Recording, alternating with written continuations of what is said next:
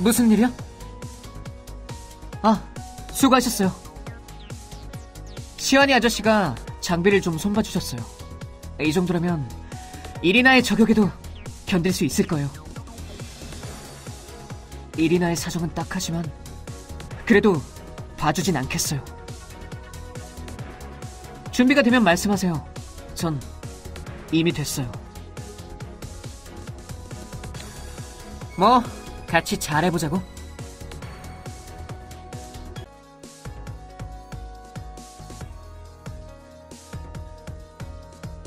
전 이제 망설이지 않을 거예요.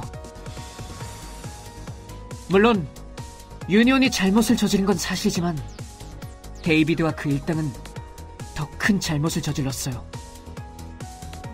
제가 잘못의 대가를 치르게 하겠어요. 좋은 눈빛이군요.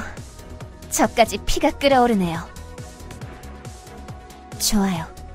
함께 검을 들고 나가요. 우리의 분노를 적들에게 똑똑히 보여주는 거예요. 바이올렛이 정말 고마워요. 바이올렛이가 아니었으면 전 다시 싸우기로 결심하지 못했을지도 몰라요. 제가 도움이 되었다니 다행이군요. 하지만 어디까지나 다시 싸우기로 선택을 한 건 당신 자신이에요. 그러니 좀 더 당당해지셔도 돼요. 다, 다- 당당 노, 어, 노력은 해볼게요.